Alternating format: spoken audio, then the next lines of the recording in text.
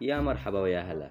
أهلا بيك عزيزي المشاهد في فيديو جديد من فيديوهات الضحك. لو أنت داخل يا اسطى وفاكر الفيديو تحفيزي فانصحك. اهرب اهرب عشان الفيديو كله ضحك في ضحك والضحك في ضحك هيكسر مجاديفك. فبهزر يا اسطى خد رايح فين خد. إيه يا شيخ؟ إيه يا شيخ؟ إيه بقى يا شيخ؟ ربنا يهد المفتري يا شيخ. يا اسطى يا اسطى. عشان إحنا اصحاب وحبايب واخوات من زمان. خلاص خلاص أنا عايز انهي العلاقة دي يا سمسم المهم يا اسطى عنوان الفيديو النهارده هيكون هنشرح لك إزاي تدخل الجامعة باتم الاستعداد وتكون جاهز لكل حاجة.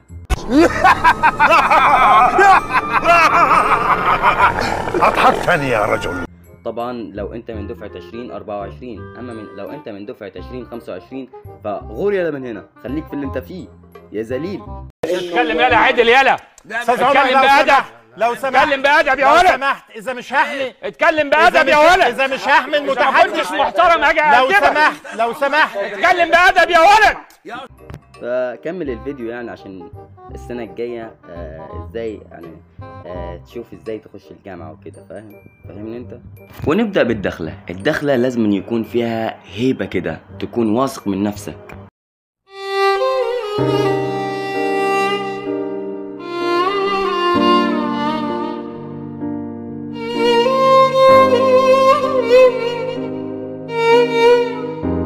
ولازم يا اسطى اول ما تدخل تبين ان انت فاهم كل حاجة تبين ان انت إيه دحيح.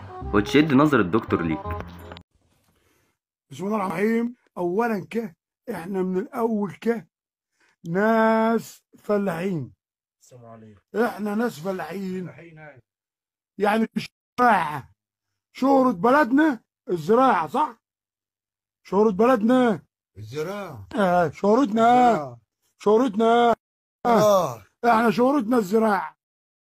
تاني حاجة عايز أقولها لك يا صاحبي إن الجامعة كلها فتن فخلي بالك من نفسك وما تروحش السكة اللي بالي بالك تمام؟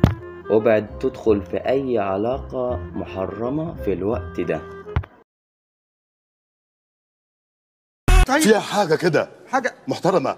فيها احترام. أيوه فخر ووكر كده. فأنا يا صاحبي عايزك تركز في جامعتك وبس وما تركزش في أي حاجة تانية شتتك. عارف ليه؟ عشان انت لو فضلت تمشي ورا الحاجات اللي هي ملهاش لازمة دي. ولا هيبقى لك ذكرى لا انت ولا عيالك ولا أحفادك. يهبل يا ابن الهبل. المهم يا اسطى أنا عايزك تخلي بالك من نفسك وتشد حيلك وتعمل كل اللي تقدر عليه عشان الدكتور يحبك في الآخر وتبقى من أحسن الطلاب معاه. تجارب عشان يصيب يا تخيب. يا فندم. أنا من بكرة الصبح قراءات نقلك يا فندم من فضلك اديني فرصة أشرح لك. خلاص يا فاشل. فاشل؟ يا فاشل. بلاش يا فندم الكلام ده. تعصبك يا فاشل؟ آه متعصب يا فاشل يا فاشل. يا فاشل يا فاشل. الله في إيه يا فندم يا بس. فاشل. وطبعا لو لقيت وقت المحاضرة كبير جدا عكس اللي انت كنت متعود عليه في ثانوية عامة فأنا عايزك صابر وهادي خالص. بس بس يا ولية إيه إيه عمال يقول لك يا أشرف يا أشرف يا أشرف يا أشرف. إيه بس اللي مضايقك أهو. أهو! أهو! أهو يا أشرف! أهو يا أشرف! إيه! إيه! فالاحترام يا اسطى والهدوء إنك تاخد الأمور بروية كده ولازم تتعود على جو المحاضرات وتتملش منه. أحمد إيه في إيه؟ أنت إيه اللي جابك النهارده؟ أقعد يا! إيه بس في إيه؟ في إيه؟ إيه بس في إيه؟ مال مامتك؟ إيه؟ وأنت مال أمك؟ وعشان ما تملش مني يا اسطى هحكي لك قصة حلوة جدا.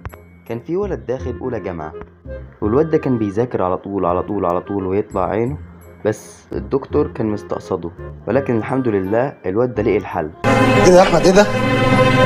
ده بنزين 90 إيه ده؟ بتعمل إيه؟ هفولك. إيه ده؟ إيه ده؟ إيه ده؟ أنت اتجننت ولا إيه؟ إيه ده؟ اثبت بس خد بالك كويس يا اسطى ونقي الكلية اللي أنت هتدخلها عشان في كليات ممكن ما تعجبكش. السلام عليكم. أنت معدي على ترعه في إيه؟ الله امال بتعمل إيه هنا؟ بتعمل إيه هنا؟ بتشمس آه. طب هتدخل إمتى حضرتك؟ سيادتك عايز تخش الفصل اتفضل. بجد؟ أشكرك جدا. تصدق جوه بتمطر. وندخل بقى يا صاحبي في حتة السكن الجامعي. بص اولا لازم تحدد أنت وزمايلك مين اللي هيكنس مين اللي هيطبخ مين اللي هيغسل. لازم تحددوا الوظائف العامة للسكن. نبدأ بالطبخ وأقترح عليك ما تمسكش الطبخ. خلي أحسن واحد فيكو يمسك الطبخ. بص بص تحت السرير لا يكون في حد أنا عارف الحركات ديت. في سمك بصل معفن. امشي أنت امشي مش عايزك أنت اللي معفن. بص يا صاحبي أنا هقترح عليك اقتراح. أنت تمسك الغسيل.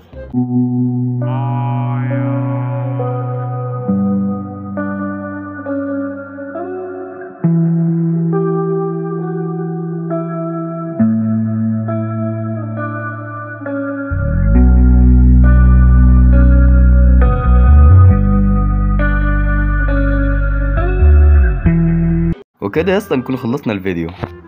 أكتر من دقيقه يا راجل بلديه وأنت هتأجر لي عجلة. خلاص روح قول. في 60 ناحيه ما تزقش مش هلم بقى. ما تزقش طبعا ما بخ عشان طب امشي خلاص. ما تبقاش طيب كده. بقول لك إيه ما تجيليش بيتي تاني اتفضل بالسلامة. بالسلامة. يلا ما تجيش هنا تاني. يا راجل خانقه حضرين من بيت مين؟ ده بيت أنا يا جنبي خلاص أنت بتفضل بالسلامة. خلاص اتفضل بالسلامة طب أنت بتفضل بالسلامة. ازيك